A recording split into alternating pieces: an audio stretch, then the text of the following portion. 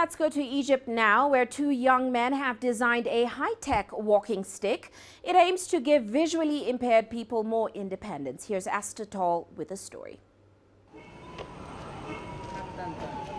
This walking cane could help lead the blind to a brighter future. Created by two students, the prototype is equipped with GPS navigation and sensors. A visually impaired person would have more independence as a cane alerts them of obstacles in their path and also lets caretakers keep track of the user's movements in case of emergencies. This stick's features are unique when compared to others like it because it is equipped with a GPS system and it also has sensors that move 180 degrees in all directions, as well as the call option or the option of messaging their location and that way their caregivers will be able to find them easily.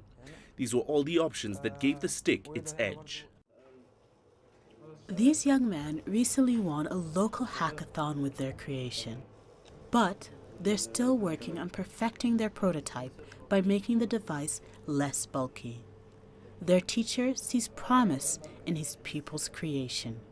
I was of course very worried in the beginning to use a stick because I am not used to it, because I'm not blind.